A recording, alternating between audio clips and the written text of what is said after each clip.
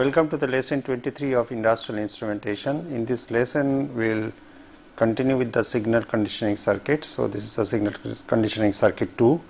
In lesson 22, we have discussed uh, some signal conditioning circuits. We have discussed the filters and basically we concentrate on the single amplifier filter, but as you know that uh, filter is one of the uh, one of the most vital part for analog signal processing.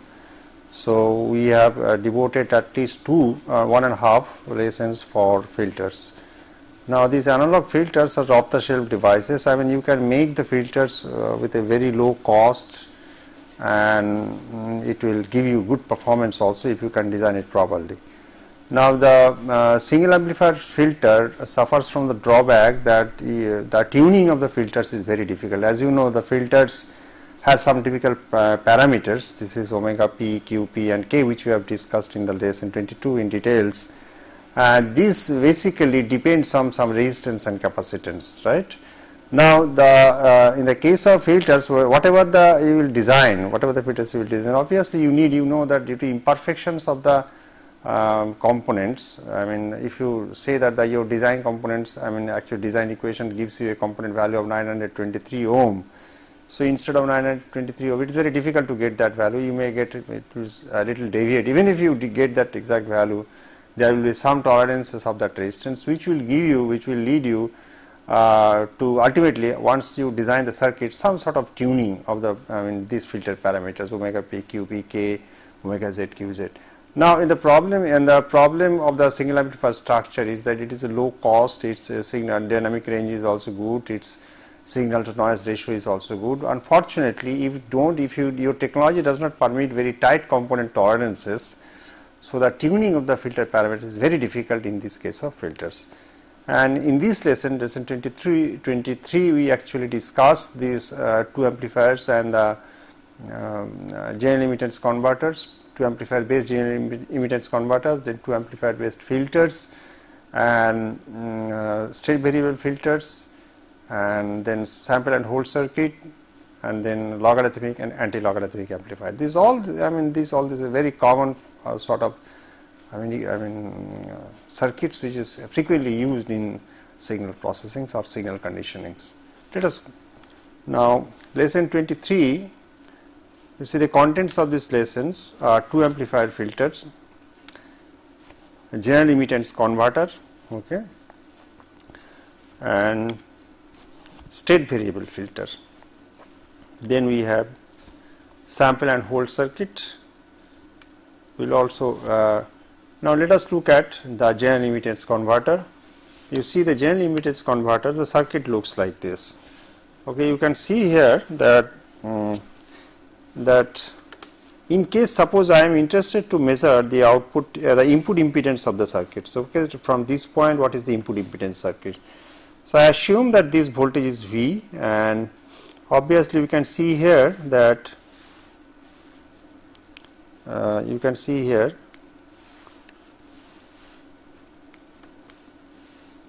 uh, that this resistance I mean uh, this is connected to ground and this general impedance converter is basically a device or circuit which will give you the uh, you can simulate inductance from the capacitance. As you know that it is very difficult to implement the inductance in integrated circuits. So, people tried over the years to simulate this inductance with help of capacitance. Now, the general impedance converter you can simulate inductance with the help of a capacitance you can simulate capacitance with the help of inductance, but nobody actually simulate capacitance with the help of inductance because that is not necessary. In integrated circuits, we can uh, always uh, fabricate capacitance of the wide values or widely different values in the chip itself, which is not possible uh, in the case of in, in uh, if I want to do it uh, the inductor in the, in the chip. Even though people tried for last two three years to make a on chip inductance, but it is still in the research state, right? Now, you see that I want to measure the input impedance or I want to look at the input impedance of the circuit looking from this terminal, right. So, that in this connect I connected a voltage source V and I measure the current which is going inside, right. So, you see two op amps are connected, uh, so that is the reason we call two amplifier structures and in and let us make the analysis of the circuits, we will apply the Kirchhoff's voltage. Now, so one thing is very common you see this op amp has very high input impedance right. So, the this potential at the node 1 and potential at the node 3 is same. Again since the this op amp this potential 3 you see node 3 is common node 3 is common here you see here. So, this is connected again the second amplifier. So, this potential node 3 potential and node 5 potential is same clear. So, if I now apply the Kirchhoff's voltage law in the node 5 we will get we apply the Kirchhoff for the circuit analysis applying the KCL's Kirchhoff's current law I will get V2 minus V SC equal to V by R4. Now, let us look at what is okay. So, this is our V2 you see here this is our V2. So, this is our V2 this is our V1 okay. Now, I want to apply this is in this loop this our Kirchhoff's current law. Let us look at what we will get. Yes. So, applying Kirchhoff's current law also at the node 3 we will get V 1 minus V by R 2 V minus V 2 R 3. So, or V minus V 1 by R 2 equal to V 2 minus V by R 3. So, if this is the equation, so obviously substituting V 2 minus by V from equation 1 we get V 1 minus V 1 by R 2 equal to V by S R 3 R 4 C right. So, applying KCL at node 1 I can write I in that means current which is flowing inside just at the input node V minus V 1 by R 1 equal to V R 2 by S R 4 R 3 R 1 C. So, obviously, so V by I in or the input impedance of the circuit uh, will look like S R 4 R 3 R 1 C by R 2 right. So, Z impedance, so I can write Z in is equal to the input impedance of the circuit at the node 1 can be written as S R 4 R 3 R 1 C by R 2. Now, you see this entire things I can write as an equivalent inductance you see this entire thing is not it. Okay. So, I can write it as LEQ. So, we can see interestingly using one single capacitors I can uh, simulate inductance in the circuits. So, I have used one capacitors and some resistors. So, I am simulating actually the inductance in the circuits right. So, it is a tremendous impact in the signal processing in instrumentation at least. So, thus I can write the L equivalent or inductance equivalent equal to R 4 R 3 R 1 C by R 2. You, you see there is a various combinations of this you can have any one of this one suppose you can choose R 4 also okay as an in I mean capacitance by which you can um, you can get the equivalent inductance right. Now, thus the above two amplifier structure simulates an inductance that is actual. Now, you see one thing is very important if you look at very these circuits you see this particular circuit will generate actually the grounded inductance. Now, if I want to generate if I want to simulate the floating inductance then these two circuits should be connected back to back right only that time you will get the inductance the uh, floating inductance. Now, the inductance which we have generated here is the grounded inductance. Now, with the help of this uh, inductance, I can obviously simulate low pass, high pass, band pass filters can be realized using these two amplifier structures. I can realize low pass structures, I can realize high pass structure, I can realize band pass filters using the two amplifier structures. Now, you see if you compare these single amplifier structures and two amplifier structure, you won't get much advantage in these two cases except the uh, except in the form that uh, that you will find that in the case if you use a band pass filter it will give very high input impedance at resonance okay uh, we, which we will not get in a single amplifier structure otherwise all the problems what you have in the case of single amplifier structure that means the tuning difficulty which is most obvious in the case in this case also will remain there. So, I am not getting an advantage compared to the uh, single amplifier structure so far the tuning of the filter is concerned right.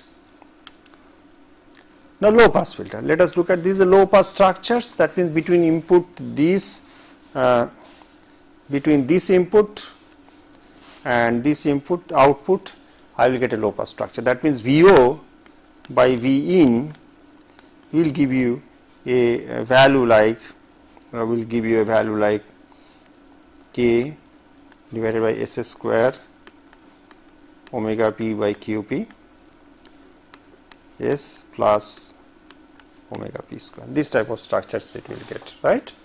Now, if I want uh, try to analyze these circuits, for circuit analysis I can find out that the V naught by V in S 1 by 1 upon R 1 R 2 multiplied by 1 upon R 4 plus 1 upon R 5 multiplied by R 5 C 1 C 2 and upon S square plus S by R 3 C 2 plus R 5 R 1 R 2 R 4 C 1 C 2 clear. Now see that I mean if I can similar as as it happened in the case of uh, general limiters I mean making the circuit analysis for the general limiters converter that same thing we can do it here also to find the uh, overall I mean transfer functions in S domain of the circuit right. Now also I can write the nodal admittance matrix of these networks and find the transfer functions.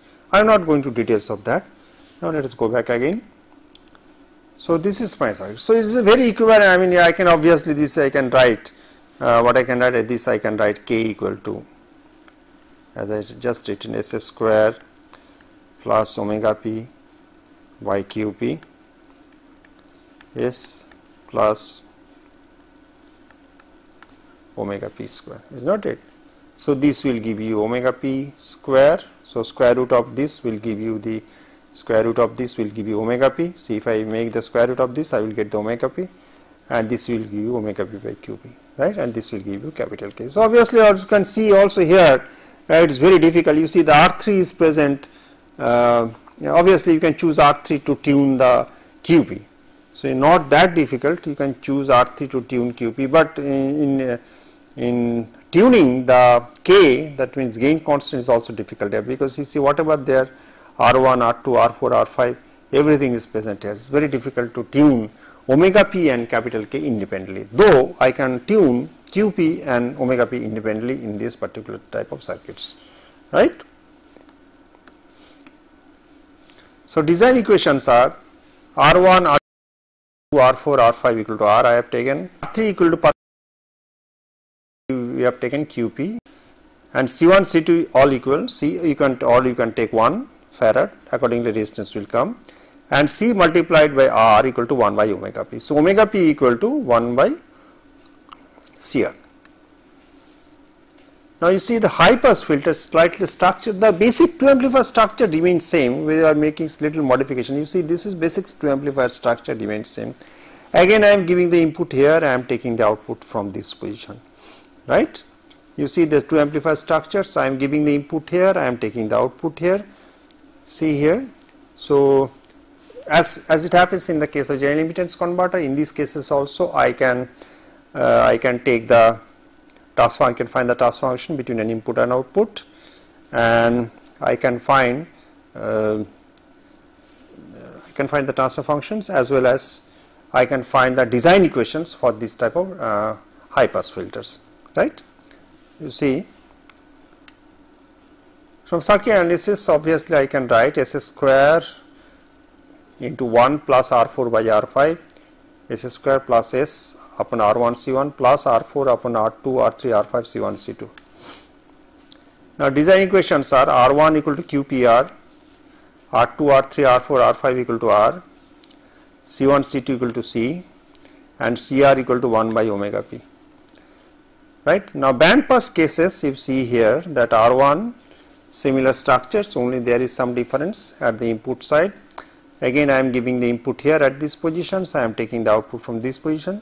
You see I am giving the input in this position and taking the output from this position. Input at this position, output at this position, fine. So again I am finding the transfer function V naught upon V in in S domain, so I will get a transfer function which looks like this. So obviously it is a, you can see here there is a single zero at the origin and two complex conjugate poles. So, V naught by V in S equal to S 1 plus R 4 by R 5 upon C 1 R 1 S square upon S square plus S upon R 1 C 1 plus R 4 C 1 C 2 R 2 R 3 R 5 right. And the design equations looks like this.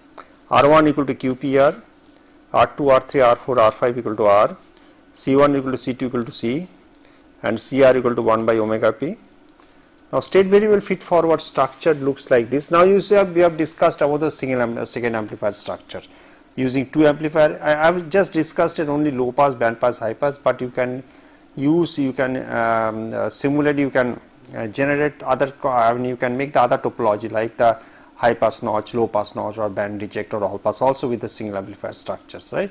I am not going to details of that, I am just giving the two amplifier structure where we can make low pass, high pass, band pass. Please remember, but please remember you can generate other filter functions like high pass notch, band pass notch, uh, band reject as well as all pass uh, structure by this two amplifier topology. Now, as it happened as I told you that in the case of single amplifier structure it is just impossible to tune orthogonally all the filter parameters. In the case of two amplifier structures we have seen that we can independently tune the omega p and qp quite obviously, but I cannot tune qp uh, omega p and k independently. So, to people need some other structure where we can make total orthogonal tuning of the filters right. So, that type of structure is basically state variable feed forward structure. Let us look at the 3 amplifier structure looks you see that we need 3 amplifiers why it is calling feed forward you see there is a feedback there is no doubt the state variable structure okay I have a lossy integrator you see what is this actually this is a lossy integrator right? This is an inverter simple inverter and this is another integrator is not it? So, the first one is a lossy integrator or damped integrator, then you have an inverter, then we have an again another in integrator. And we see here there are feed forward through R6 and R7 because input is coming here, it is going to R4 to the first amplifier, then through R6, you see through R6 and through R5 we are giving two feed forward. This type of structure can generate uh, any filter functions. Okay we will see that's the advantage of this type of structure tremendous advantage of this type of I mean structure. It is it is available in the cheap form also this type of uh, filters. Uh, national semiconductor makes this filters. Is called universal filter where you can have, have one or two elements outside uh, which you can tune to get your desired value of omega p and qp right? Now design equation looks like this. From the circuit analysis we get we have to we can make the circuit analysis. We can say that R, R8 minus R8 by R6 S square plus S 1 by R1 C1 1 by R4 C1 R6 R7 R6 by R7 1 upon R3 R4 C1 C2 S square plus S 1 upon R1 C1 R8 by R7 1 upon R2 R3 C1 C2 right. One thing you see here which is very important you see here that this is very similar to the structure I can write Ts equal to minus k S square uh, Cs plus D S square plus As plus B is not it very similar to this type of structures. Now, for this reason you can see this all this value R 8 uh, these components you can see this component this one. So, we can realize by some resistance and capacitances. So, if I purposefully make that portion 0 obviously I can get it. Suppose in this case suppose if I make C 0 and D 0, so it will be high pass structure right. Similarly, if I make suppose R 6 infinite in that case it will be a, your uh, I can make this as a low pass or uh, or band pass structure like that it goes right. So, with this type of structures obviously I can uh, generate any filter function. Only problem if you look at the numerator you see the here we have a subtractive term at the uh, as a coefficient of s.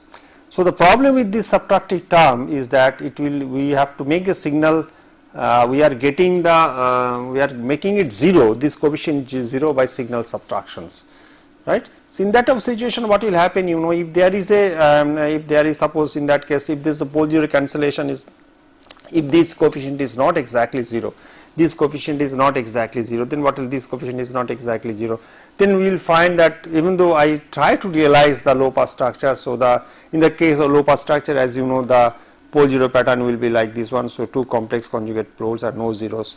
So it will find that it will not exactly the same pole 0 pattern right so, these only difficulties in that this type of state variable structure otherwise it is a tremendous advantage its uh, its sensitivity is also quite low its um, tuning is a great advantage. You can see in the next slide I can show you what are the different elements we can choose to tune uh, omega p, qp, omega z, qz independently, right. Because as you know in that I mean in the filter parameters we always we know that we have to uh, tune omega p, can take another pen. Omega p qp capital K omega z and qz these are the things I mean which we are going to simulate right. So, I mean this uh, the, the parameters which you have to um, tune it with some resistance elements capacitance we will not use for tuning. Now, how I can make uh, now orthogonal tuning means that if I use some resistance to tune or some capacitance I will consider the resistance if I consider some resistance suppose this omega p I am want to change or modify or tune. So, other field by changing some resistance if I tune omega p other filter parameters should remain intact that is called the orthogonal tuning. Okay. Now, if you go back you see here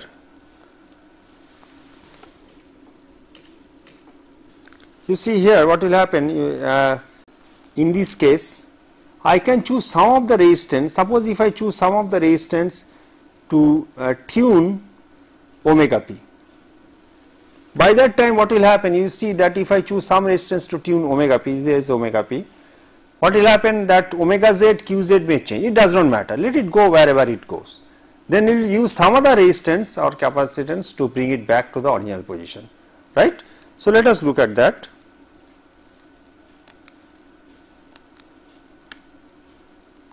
Now, above equations as you can can also be written as T s equal to k s square plus C s plus d s square plus A s plus b and the design equations are C 1 C 2 equal to 1 R2, R3, R7, R8 equal to R equal to 1 by root B and R1 equal to 1 by A, R4 equal to 1 upon K A minus C, R5 equal to root over B by KD and R6 equal to 1 upon K root B. The design equations mentioned above yield positive element values for A greater than C. This most of the cases this will be satisfied, A will be greater than C. These design equations mentioned above yield positive element values for A greater than C and the above equations can also be written as Tk Ts equal to k s square plus omega z by qzs plus omega z square upon s square omega by qps plus omega p square. And thus for orthogonal tuning we can use the following elements as shown in the table below and they need to be done sequentially as given. Okay, You cannot haphazard fashions these are the filter parameters and which particular element passive elements you will choose to tune it. Let us look at for capital K gain constants I am uh, tuning R8 right. For omega z I am using R3. For omega p I am choosing R2. Omega p qp equal to R1 I am choosing R1 to tune. And qz equal to R4. This completes the tuning of the all the filter elements. You have to go in particular this sequence that otherwise there will be a problem. You see? Because if we choose uh, tune R8 let us look at I am taking examples of tuning R8 or R3 omega z k for R8 and omega z equal to R3 let us look at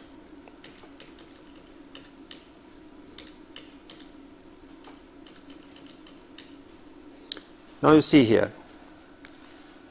So k we are using R8 and omega z R3 let us look at you see that K R8 is changing. Okay?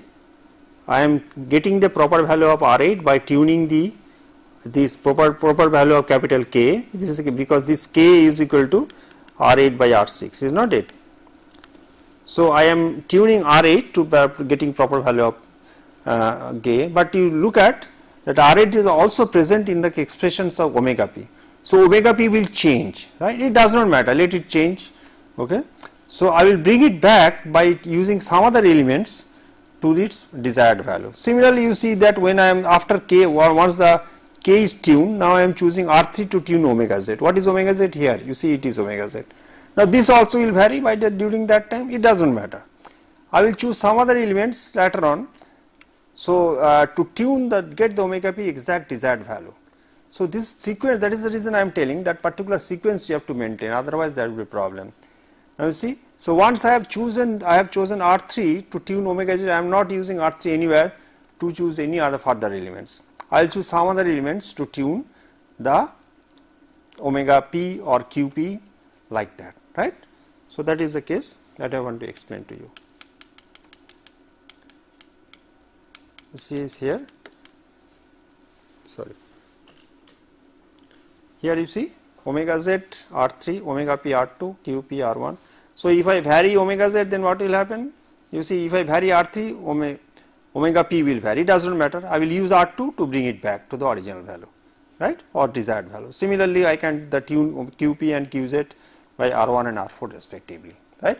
This ends the uh, particular uh, the only the filters that means uh, uh, we have discussed in the lesson 22 the single amplifier structures then in the lesson 23 we have discussed the uh, two amplifier structures we have discussed the uh, three amplifier state variable structure. State variable structures has another advantage its is the frequency its sensitivities logarithmic sensitivity is very very low. Though the one single problem with the single amplifier structure is the power dissipation and also the dynamic range of the filter because as you know if you are increasing the number of op amps you are making the your signal to noise ratio poorer and poorer right. But uh, I mean uh, since it has advantage of the tuning and it has advantage of the low sensitivity these structures is preferred over the other single amplifier or two amplifier structures. Now let us go back to um, uh, sample and hold circuits let us look at that. You see this is a simple sample and hold circuits. In sample and hold circuits very much necessary in many signal conditions. One of the good example of the sample and hold circuit is ADC. Now analog to digital converters, we have you know there are various types of analog to digital converters. We have uh, successive approximations analog to digital control. We have a counter control ADC, we have a dual slope ADC, we have a flash ADC. There are so many ADCs are there, enhanced dual slope ADC. Now all these cases, I assume that during the conversion whatever small it may be, all the all the ADC has some conversion time. We are assuming that during the conversion the signal remains stationary of value, this value is not changing. That is to be assured by the sample and hold circuits, right. So, sample and this is one of the simplest form of the schematic of the sample and hold circuit. This is a switch and we have a capacitor here. Okay, when I, when I close the switch, the it is charged, the capacitor is charged by the input voltage and when I open it, it will hold for that for some period, right whatever small it may be. So, during that times I can make my conversion studies, uh, my conversion complete. Let us look at sorry. Now, voltage across the capacitor uh, tracks the input signal during the time t g when the logic control gate S is closed. This is a logic control gate I can use some uh, MOS gates also right for this purpose. The capacitor holds the instantaneous value attained at the end of the interval t g when the current gate opens S right fine. So, during TG so it holds the charge the switch may be a bipolar transistors or a MOSFET controlled by V gating the signal voltage or a CMOS transmission gates. Now, you see these are examples. So, I am using one I mean MOS gates here I am using one buffer amplifier at the input side another buffer amplifier at the output side right. So, this gets these analog signals. So, whenever this gate voltage if it is NPN Suppose if it is an MOSFETs N I mean MOSFETs if it is the signal is like this what will happen. So, whenever this voltage is positive it is open. So, whatever the charge it has voltage it will be come to this and capacitor will be charged to that voltage. Okay. Once this gate voltage is removed, so that voltage is supposed to stay here. So, during that time if the V1 changes that will not affect this output voltage or the, or the voltage on the capacitor C. Okay, that is the basic theory of the sample and hold circuit. Now, positive pulse at the gate of NMOS, if I, I assume it is NMOS, so in the gate I have to give positive pulse, positive signals or control voltage. If I use a PMOS, I have to give negative voltage or negative signal at the gate of the NMOS or of the PMOS. The hold capacitor, the holding capacitor C will charge to the instantaneous value of the input voltage with a time constant of R 0 plus R d s on multiplied by C. You know the time constants means basically R into C. So, where R 0 very small output resistance of the input op amp A 1. Okay. Assume that the output obviously this op amp has a very low output impedance and R d s on is the on resistance of the MOSFET. I am writing FET is the MOSFET on resistance of the MOSFET right. In the absence of the positive pulses the switch is turned off and the capacitor is isolated from any load through the op amp A2 and thus will hold the voltage impressed on it. Okay. So, because there is an output capacitor, so obviously it will isolate our output circuits uh, this sample and hold circuit will be totally isolated from the uh, I mean subsequent circuits which follows after the which follows the uh, amplifier A2 right. So, this charge will be hold because there is no path to discharge. So, that path charge should hold if there is no leakage in the, the obviously in the capacitor. So, the capacitor is the crux or the heart of this sample and hold circuits. We will discuss what are the different types of capacitors typically used for making a sample and hold circuits.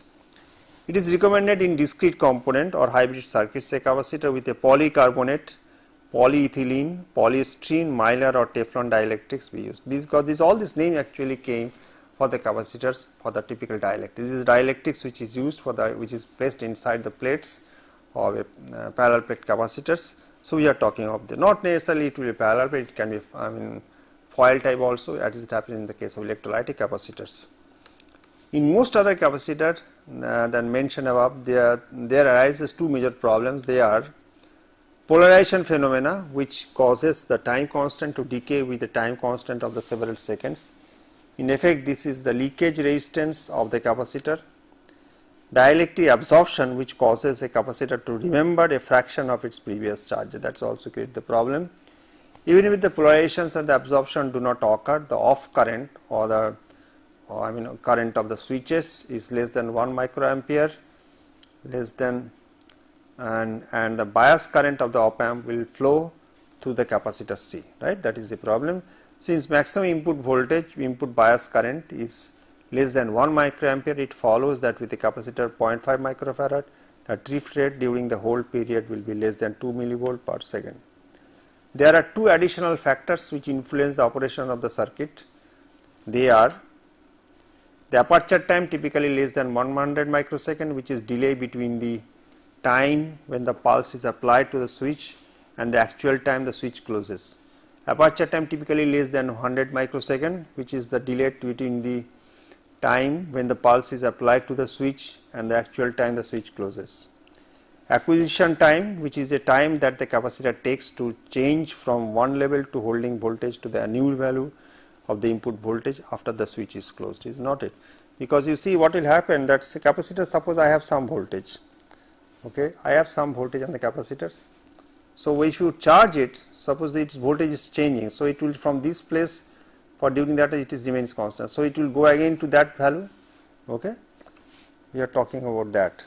Acquisition time which is the time that the capacitor takes to change from one level of holding voltage to the new value of the input voltage after the switch is closed.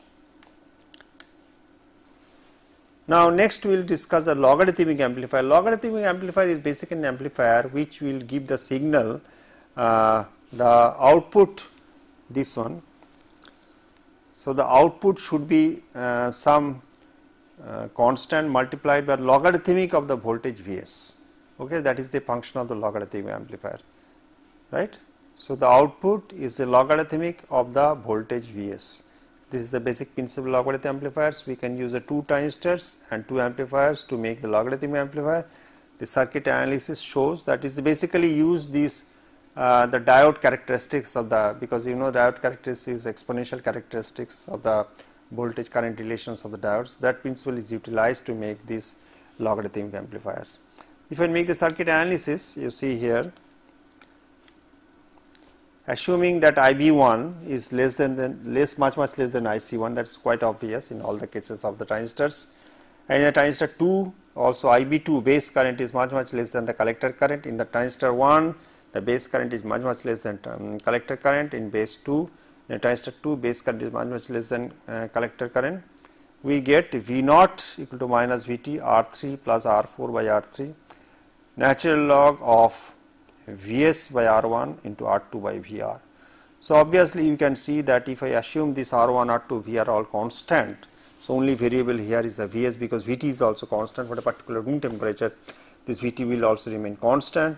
So, you can see that V naught and if I assume this R 1, R 2, V r reference voltage all are constant. So, the this uh, output voltage is a, is a logarithmic of the voltage V s which we have impressed right which is applied at the input of the circuit. So, this is basically the logarithmic amplifier similarly since we have a logarithmic amplifier we can have an anti logarithmic amplifier also well, let us look at So, in anti-logarithmic amplifier circuit looks like this is basically same you can see two transistors and two amplifiers A1 and A2 and two resistance R4 and R3 at the initial site. So, Vs output will be output will be anti-logarithm of the voltage which you are giving here.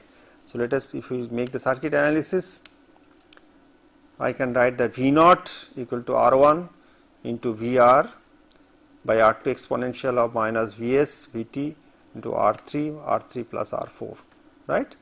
So, you can see this one this is a negative logarithmic of the. So, this is a obviously this you can see this uh, is a anti logarithmic amplifier analog switches is extremely used in signal conditioning circuits. Analog switches are the two switches, one NMOS and one PMOS.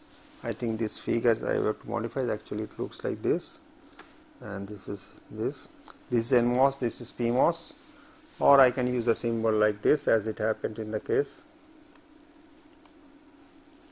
This is NMOS. In the case of PMOS, there is no arrow or you can be like this one right this is in the case of PMOS.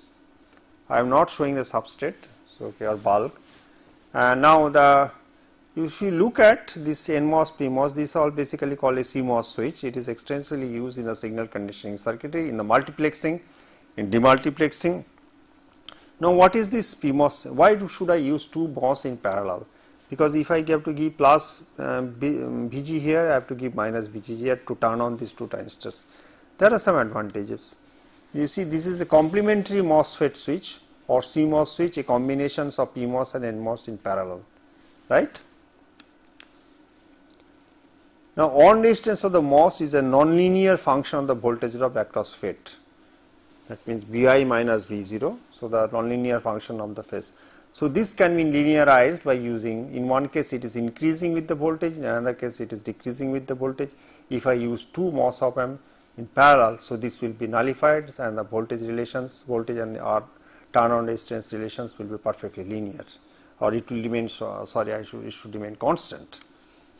So, as Vi increases resistance of T1 increases and that of the T2 decreases Thus, the on resistance of the CMOS is linear and is independent of Vi and is valid for both Vi positive and Vi negative, right.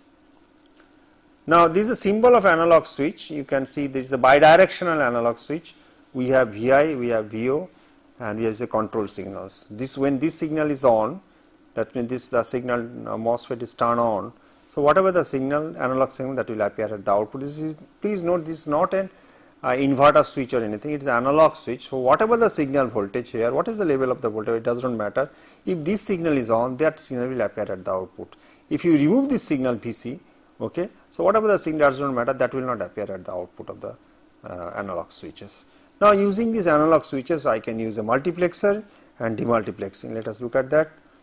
Names of the, there are some commercial, excuse me, there are some commercial uh, analog switches these are uh, National Semiconductor switches 4016, 4066. These are all quad switches and I mean 4 switches in one chip, right. And from Motorola we have corporation 14066, this is also the quad switches and that means one for, so it should be, it is a 14 pin DIP in both the cases 14 pin dual inline package, right. In one case we will find that the, in each cases we will find there are 3 uh, pins is necessary one for input, another for output, one for control. So, 12 switches gone, so 2 more switches, one for VCC, VSS, another for VDD. So, it is 14 pin DIP which holds the 4 analog switches, right. So, both the assessment conductor motor specifications we have given. It is a bidirectional analog switch, so 14 pin DIP. There are 4 switches on one switch, these are all the specifications. Uh, one VDD, one, one VSS line, on resistance of the chip of analog I mean switch is around 100 ohm to 600 ohm its value is little low I mean you can keep nowadays it is even less. So, input signal lie between VDD and VSS where VDD plus volt and VSS might be minus 5 volt. And now you see this is a, one of the typical example of the multiplexing and demultiplexing. Now you see what is the need of multiplexing and demultiplexing. Now basically this multiplexing demultiplexing is necessary to reduce the number of cables and also the number of hardwares. Okay. Now all of you know most of you are using the calculators okay in the calculators we have uh, nowadays as we can afford you can have a 10 digit display you can have a 12 digit display all those things. Now it will be surprising to know you know always from uh, if you have a BCD signals BCD signals you have to convert to the I mean display. So I needed to BCD to 7 segment decoder. Now, uh, my BCD uh, signal BCD chip should be the same, same as the display unit, but I can use a single uh, decoder BCD to 7 segment decoder uh, to convert this signal to the uh, 7 segment display. This can be very conveniently do if you can scan the signals, if you can multiplex okay and due to persistence of visions if you look at the calculator we never seen that it is it is not blinking it is not a due to vision it appears that it is constant okay? It is not flickering actually it is flickering. That means one digit at a time they are displaying on the on the display board right? Similarly in the case of suppose in the case of ADC we have also multiplexing. Demultiplexing one of the good examples of this this type of ADC is 0809 okay? In 0809 ADC you will find it is basically 8 bit ADC now it has an input I can I can uh, connect 8 uh, different input to this ADC even though ADC is more only one ADC is inside the chip, but I can uh, take the signals from 8 different sensors. I can from 8 different thermocouples or 8 different RTD I can take the signals because it is uh, multiplexing that signals one at a time and every time it is only one A to D converter converting the signals. Similarly, I need one demultiplexer at the output also. All these things is necessary to reduce the number of cables. This is very important because the cable cost is a lot because especially if you use a low capacitance cable, I mean sorry I mean, uh, I mean where the capacity capacitive loss is less, you will find that network is very expensive, right. So, to avoid that I always used uh, multiplexing and demultiplexing. Let us look at that. You see here this is basically analog switches, 4 analog switches are there, you can see here.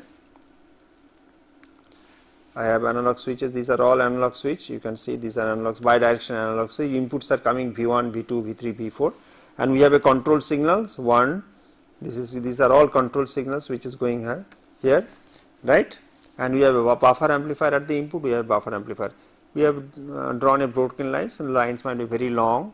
Okay it is the data lines and you see what we are doing here I need a 2 to 4 line decoders what is the 2 to 4 line decoders only one line will be selected at a time when this line uh, this uh, switch will be selected all other switch will be uh, deactivated during that time. This is very is not very difficult. You can see I can have a this type of signals. Uh, I can have a signals like this. You see here.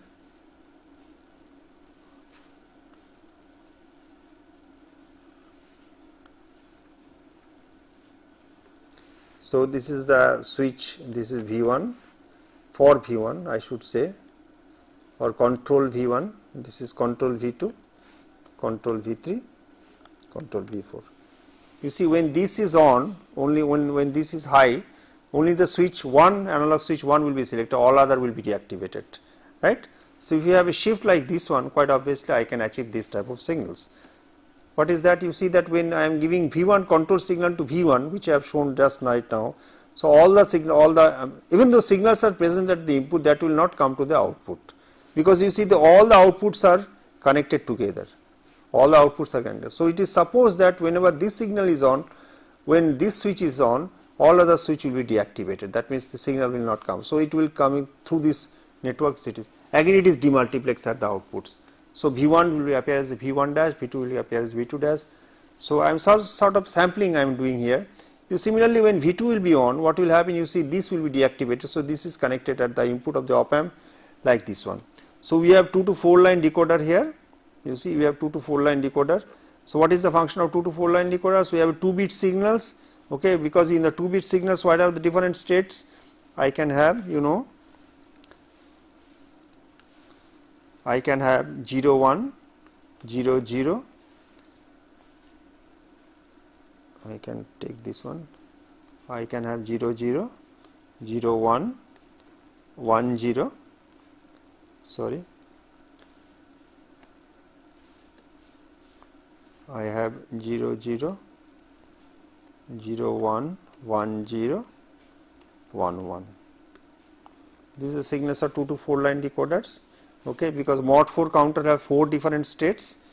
Okay since I have 4 lines I need mod 4 counter. So after 1 1 again it will go to 0 0 when 0 0 will be activated so 2 to 4 line decoder is very simple. I can do it with uh, uh, with the AND gate. So this gate will be selected. So when all other gates will be deactivated when this is on so this will be off right?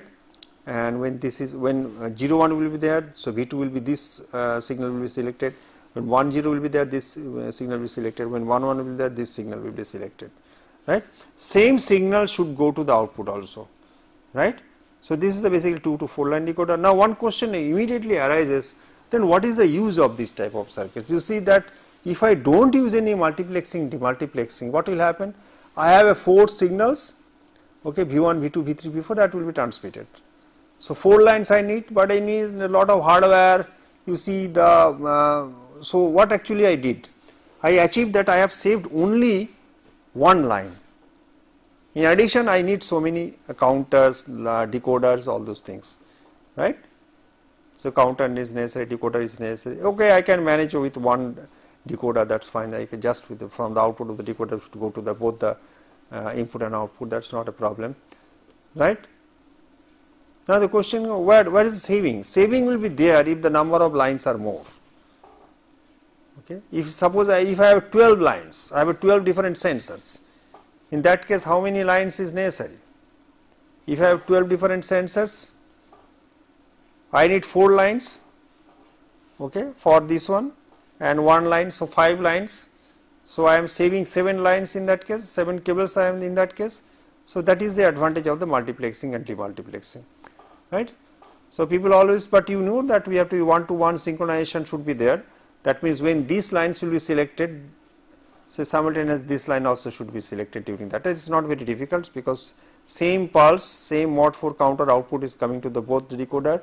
So, when this will be selected, this will be selected. When and at that time, all these three analog switch will be deactivated. This analog switch is also will be deactivated. When this switch is selected, this switch also will be selected like that. It will go right. So, in the circuitry discussed uh, about much of the cables can be saved in the, the, as the number of switches increases. Now, you see that I am giving some input signal V1 of different varieties of the signal V1, V2 which is very slowly varying with time, increasing with time which is not varying with time. Now, if I sample this and some signal V3 which is coming down and V4 is also less value it is constant. So, if the signal looks like this what is the sampled signal? Sample signal should look like this one. Okay. This signal will not change. Okay. Now this signal this is coming like this. This is coming like this. Now what will happen actually? You see that if i pass this signal how will it retrieve the original? My original signal does not look like this is not it? How does my original signal look like? Okay. My original signal look like this. Original signal look like this. So this signal that means v1s V2S, V3S, V4S should pass through a low pass filter. If I pass this signal to a low pass filter, so obviously what will happen, this all these things will go out, actually I will get a uh, good output which is very close to the input signals. So, I can use a simple RC filters also at the RC low pass filter at the output of the output of the multiplexers. That means at the at this point you see here I can use some output signals, I can use some capacitors also. So, which will uh, reduce that high frequency component. So, I will get a signals which is very similar to the input signals I, which I have given here V1, V2, V3, V4 clear. So, this is the advantage of our uh, multiplexing and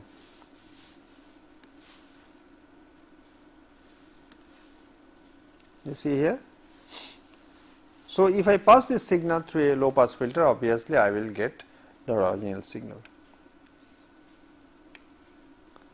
Now, on passing this through a low pass filters we will set back the original signals okay that is quite obvious that I can get the original signal. So, obviously you can see the same type of hardware is also used in the case of display digital displays where they are we are saving the 7 segment decoder because that is a great saving even though those are in LSI large scale integration So, the saving is there that with a single decoder I can add due to partial vision. Here also so in many many cases I do not need sampling that fast right. I do not have to monitor the temperature suppose I have a 100 thermocouples I do not need to I mean monitor the thermocouple temperature every minute something like that. I can sample suppose if I once in a 5 minute that is more than enough. So, in that case accordingly I can make the circuit so that which will give you uh, the I can I can sample the circuit like that.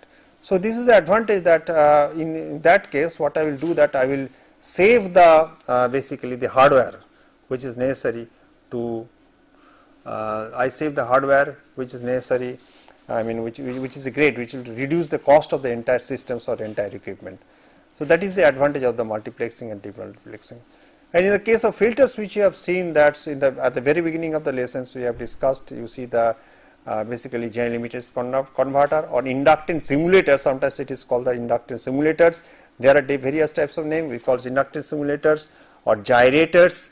That means by using a capacitance I can use inductance. By using an um, inductance I can use a capacitance. As I told you nobody simulate I mean uh, nobody simulate the capacitance with the help of inductance, but it is quite obvious. People always try to simulate inductance with the help of capacitance because uh, having a real capacity, real inductance in a circuit is very difficult. It's not that it is possible so far as for today to get a large value of the inductance. And also we can have a, I mean, if we want to do the simulation, I can have a floating inductance as well as we have a grounded inductance. That means two uh, grounded inductance, if we connect back to back, I will get a floating inductance uh, of the simulator, floating inductance uh, circuits. So, these are the things which we have discussed. We have also discussed the single amplifier structures which in the lesson 22 we have discussed the uh, two amplifier structures in the lesson and we have discussed also the I mean two amplifiers as well as uh, three amplifier state variable. Now, state variable structure is a very attractive two amplifier structure has no advantage additional advantage except that in the band pass cases it keeps the very high uh, uh, very high input impedance. Only problem with the state variable structures we have seen that, that because you see that the uh, high pass structures, high pass, high pass or high pass notch or low pass notch, this type of filter functions is achieved by making the uh, the coefficients uh, of S in the numerator 0 and we have seen that that is actually done by the signal subtractions. So, due to this mismatching of the any resistance or capacitance it does not make 0 that creates the problem. That means, in the case of as you know in the case of notch circuits as you know that we have always you know what will happen? That if you look at this is sigma j omega plane okay? We have a complex conjugate poles in the case and either I can have a 0 here or I can have a 0 here here or here here now, if it does not cancels that means that there is no real part of the zeros. So, that is only possible if the s part that is coefficient of s in the numerator is, uh, is absolute is 0 otherwise there will be no real part. Now, what will happen if the real part remains if, if due to signal subtraction it is it's not complete what will happen you will find that it will remain. So, this will be shifted little bit on this side. So, that will create the problem. So, the pole 0 location will not be same not exactly what is desired and also by this by that the exact notch functions may not be achieved that is the only drawback. But nowadays as you know the signal conditioning the component tolerances are less and less going to be so that it is very easy to get the whatever the desired value of the or what are the whatever the design value of the resistance or capacitance that we can achieve very easily. So, with this we come to the uh, uh, end of the so, you see that is how this signal comes so that I can staircase waveforms. Okay. So, with this I come to the end of the lesson 23 of industrial instrumentation.